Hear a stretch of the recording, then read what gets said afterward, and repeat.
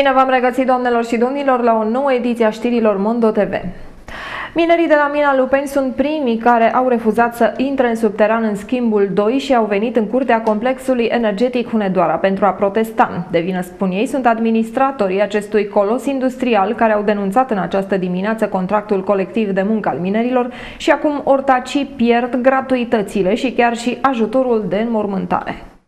Vestea că prevederile contractului colectiv de muncă au fost denunțate i-a scos din șut pe minerii de la Lupeni, ei fiind primii care vineri la prânz au ajuns în fața complexului energetic Hunedoara.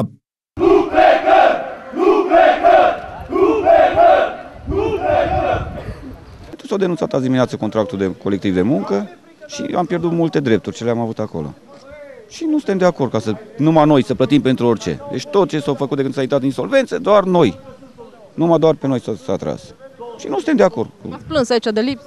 De lipsă, aia se știe mai de mult. Dar acum, deci chiar am pierdut chiar tot ce a fost. Deși mai multe drepturi care le aveam în contact colectiv de muncă.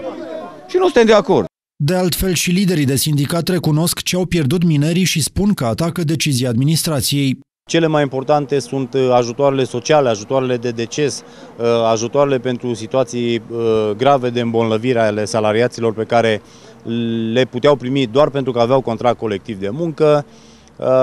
E vorba de adausurile pentru sărbători, pentru ziua meseriei, este vorba de ajutorul pentru energia electrică și energia termică, tichetele, masa caldă, transportul la și de la locul de muncă sunt foarte multe drepturi. Administrația ceh a remis un comunicat de presă vineri dimineață, în care a precizat că relația angajat-angajator va fi reglementată în conformitate cu prevederile contractelor individuale de muncă, beneficiile și sporurile stipulate expres, valoric și procentual, în cadrul acestora nefiind afectate. Măsura denunțării contractului colectiv de muncă se impune având în vedere intenția de reorganizare a societății manifestată de către administratorul judiciar, Casa de Insolvență GMC, și din cauza faptului că măsurile măsurile aplicate până în prezent nu sunt suficiente pentru realizarea unei economii la un nivel care să permită în continuare susținerea activității. Totodată, societatea Complexul Energetic Hunedoara va demara negocierea unui nou contract de muncă în cel mai scurt timp. Sindicaliștii însă nu exclud ca și alți mineri să refuze să intre în șut și să ajungă chiar în curtea ceh. Încă un locuitor din Petroșani a decis să-și încheie socotelile cu viața într-un mod crunt. Un bărbat de 33 de ani a fost găsit pe Maleia joi după amiază după ce s-a spânzurat. Polițiștii încearcă să afle ce s-a întâmplat și în acest caz al doilea doar din săptămâna care tocmai se încheie. Un bărbat de 33 de ani a fost găsit joi după amiază fără viață pe Maleia, într-o zonă aflată la poalele Parângului. Omul a fost zărit atârnând de creanga unui copac și imediat cei care l-au găsit au sunat la 112. Cadavrul a fost preluat de medicii legiști, iar procurorii criminaliști caută să afle câteva răspunsuri.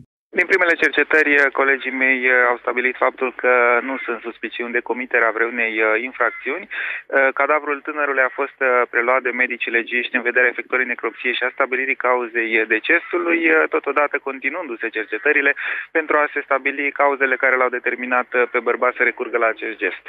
Deocamdată nu se știe cum s-a întâmplat tragedia și trupul fără viață al omului a fost transportat la Serviciul de Medicină Legală, unde va fi autopsiat. Acesta este cel de-al doilea caz, numai în această săptămână, în care un om își pune capăt zilelor în acest fel în Valea Jiului. Sâmbătă dimineață, elevii de la liceele din Petroșeni sărbătoresc primăvara. Este o acțiune dedicată acestui anotim și este organizată de Consiliul Consultativ al Tinerilor împreună cu cei din Primăria Petroșani și Casa Pro Urbis. Vremea se îmbunează și liceenii din Petroșan vor sărbători primăvara. Este o acțiune pe care au gândit-o după ce a dedicat dragostei, care au punctat-o în luna februarie. Sâmbătă de la 10 dimineața îi vom găsi în stradă pe centrul civic, unde ne vor arăta cum văd ei renașterea la viața naturii. Este o inițiativă a celor din Consiliul Consultativ al Tinerilor. E vorba despre primăvara lor. Sunt tot felul de activități care sâmbătă, începând cu ora 10, se vor desfășura în rotunda de lângă Teatrului de Sârbu. E vorba despre un, organizarea unui cross. Va fi un program artistic susținut de elevii colegilor, un dans tematic, prezentarea unor simboluri ale primăverii și, la sfârșit, sigur, ceremonia de premiere a celor care participă la cross. Tot sâmbătă de la ora 20 și 30 de minute suntem invitați să celebrăm Ora Pământului. În 2016 aceasta va fi marcată și la noi, la fel ca în alte 7000 de orașe din România și din lume. Pe 19 martie, în intervalul orar 20.30-21.30, iar sloganul ediției de anul acesta este Dăruiește naturii energia ta. Legea privind indemnizația pentru creșterea copilului a fost repusă în dezbatere de demnitarii PNL printr-un proiect promovat la Comisia pentru Muncă și Protecție Socială a Camerei Deputaților. Amendamentele adoptate în comisie sunt gândite să susțină familiile active, dar și mamele cu venituri modeste. Indemnizațiile de creștere a copilului pentru mamele cu salarii mici vor crește de la 600 la 1062 de lei, potrivit unui proiect promovat de parlamentarii PNL. Amendamentele propuse de liberali vin și în susținerea tinerelor mame cu carieră profesională de succes, care doresc să se întoarcă mai repede la muncă. Potrivit noilor reglementări, mamele care au obținut venituri impozabile minim un an în ultimii doi ani de dinainte de a naște, vor beneficia de concediu pentru creșterea copilului timp de 2 ani, respectiv 3 ani în cazul copilului cu handicap. Indemnizația va fi de 85% din media veniturilor nete, dar nu mai puțin de 85% din salariul minim brut pe economie. Asta înseamnă că în momentul de față indemnizațiile mamelor cu venituri mici va crește de la 600 la 1062 de lei și suma se mărește pe măsură ce crește salariul de referință. Mamele care nasc gemeni sau tripleți vor primi în plus echivalentul indemnizației minime, adică 1062 de lei pentru al doilea și al treilea copil provenit dintr-o astfel de sarcină. De asemenea, dacă părintele decide să se întoarcă mai curând la serviciu, statul îi va acorda jumătate din indemnizația minimă până când bebelușul împlinește vârsta de 2 ani, respectiv 3 ani în cazul copilului cu handicap. Revizuirea legii privind indemnizația pentru creșterea copilului e în atenția liberalilor de mai mult timp. Facem un apel către colegii parlamentari din întregul spectru politic ca la momentul dezbaterii în plen să voteze proiectul în forma în care a fost agreat în cadrul Comisiei pentru Muncă și Protecție Socială. Ne propunem ca această lege să intre în vigoare la data de 1 iulie 2016, după ce guvernul va face rectificarea și va bugeta aceste măsuri. Astfel, facem un prim pas în vederea diminuării declinului demografic și susținem financiar cuplurile care își doresc să aibă copii. Prin amendamentele formulate, pe de o parte susținem mama și familia, iar pe de altă parte stimulăm reîntoarcerea mamei în câmpul muncii atunci când aceasta consideră că este momentul oportun, a declarat deputatul PNL de Hunedoara Carmen Hărău. Zeci de tineri, cei mai buni din zona noastră dintre pasionații de șah, s-au adunat astăzi la prânz la Colegiul Național Mihai Eminescu din Petroșani. A fost etapa județeană a Olimpiadei de șah, care va desemna câștigătorii care merg la națională. Cu emoții și gata să înfrunte fiecare obstacol din calea turei sau a calului, șahiștii din județul Hunedoara s-au aliniat pentru start. Sunt cei mai buni dintre șahiștii județului nostru, iar această etapă îi va propulsa în elita națională. Avem etape pe zone, deci etapa pe Valea Jiului la liceu, unde vin uh, doi băieți și două fete, care au câștigat etapa pe Valea Jiului. Mai avem de la Deva și Hunedoara, Simeria și Călan. Fiecare au zonele lor și care se califică vin aici la etapa județeană. Copiii învață șah acasă sau la cluburile elevilor, pentru că deși a fost introdus ca materie în școală, acest sport încă nu are ore dedicate în programă. Dar asta nu înseamnă că nu sunt și copii foarte talentați. Nu se fac cursuri opționale. Este un program la care am participat cu șacul în școală, avem o adeverință, am participat la curs, dar e, am înțeles că un proiect pe termen lung și acum se implementează. Majoritatea fac la cluburi școala sportive, CSM Petroșani, Deva și așa mai departe. Sau acasă mai joacă, învață cu părinții și noi le organizăm etapele județene și participă și cei mai buni se califică la etapele naționale. Cea mai așteptată întrecere, cea la care se înscriu concurenți cu jumătate de an înainte, este cea denumită Cupa Veteranilor. Este cel mai vechi concurs care presupune și schiul de tură, modalitate de concurs care piere odată cu cei care o mai practică. Întrecerea are loc sâmbătă la Straja, încă de la prima oră, dar începe vineri la petrecerea veteranilor trecuți de 60 de primăveri. Nimeni nu îi întrece la maestrie, nimeni nu le ia clasamentul, care la cei trecuți de 60 de ani este făcut la mare precizie, iar veteranii vin din nou la straja să lupte sâmbătă pentru marele titlu. Cu schiuri vechi, cu mult curaj și gata de petrecere și întrecere, peste 150 de veterane ai acestui sport sunt așteptați de la prima oră pe pârtie. Este a 45-a ediție a Cupei Veteranilor. Este probabil cea mai așteptată cupă din Straja, pentru că acei schiori care acum 45 de ani și, și mai mult schiau în Straja, vin an de an în, în Straja să se întâlnească, să depene amintiri.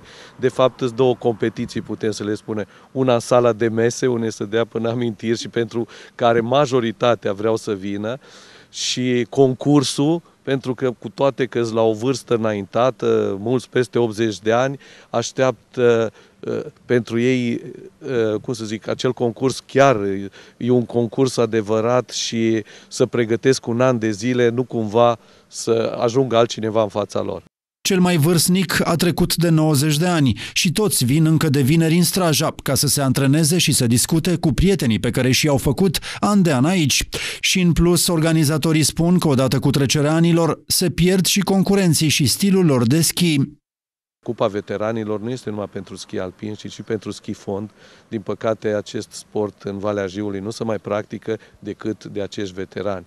Și din păcate, odată cu trecerea timpului va dispărea uh, pentru că din ce în ce mai puține acele categorii în Straja este zăpadă și organizatorii spun că stratul este chiar mai mare decât în ianuarie. Pe pârtia Mutu, acesta măsoară peste 40 de centimetri, iar concursul se ține pe pârtia Lupului, unde zăpada este și mai mare. Vremea va fi foarte bună, așa încât suntem invitați în Straja să încurajăm pe veterani. Apicultorii români se plâng că piața românească a fost invadată de miere din export de calitate îndoielnică. Mai mult din cauza prețurilor extrem de scăzute, mierea din China sau Ucraina este preferată în locul produselor apicole autohtone de o calitate net superioară. Mulțimea de produse contrafăcute din comerț pun în pericol fără îndoială sănătatea cetățenilor. Deși România este unul din cei mai mari producători de miere din Europa, supermarketurile sunt pline de falsuri, cu concursul autorităților care nu obligă la o etichetare corectă. Apicultorii români atrag atenția asupra faptului că sunt firme care importă miere de o calitate discutabilă din alte state. Ceea ce vindem noi prin magazinele noastre este miere 100% naturală, din toate punctele de vedere analizată și răsanalizată uh, ca să fie bine. Uh, într-adevăr, uh, am informații că s-a adus foarte multă miere din exterior, din China, din Ucraina, cantități imense, la prețuri foarte mici și cu calități îndoielnice. Dar organele abilitate în sensul ăsta ar trebui să facă analize și să spuie concret unde au găsit mierea cu probleme nu să arunce așa la general o pată asupra mierii românești, pentru că ceea ce se vinde la prețurile care se vând în magazine, în unele magazine la 10 lei kilogram, kilogram am înțeles, nu-i miere românească din păcate. Ar trebui să scrie țara de proveniență. Mai mult decât atât, consumul de miere din România este extrem de redus. Dacă în țări europene precum Olanda, Belgia sau Germania consumul de miere este între 1,5 și 2 kg pe cap de locuitor, media din România se situează sub 500 de grame. La final vă invit să urmărim împreună informațiile despre vreme.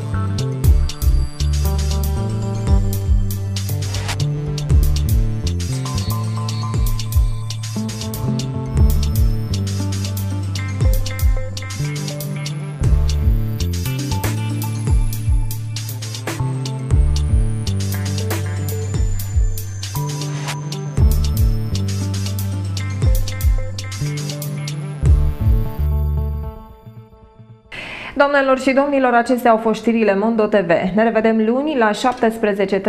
Să aveți un sfârșit de săptămână cât mai plăcut.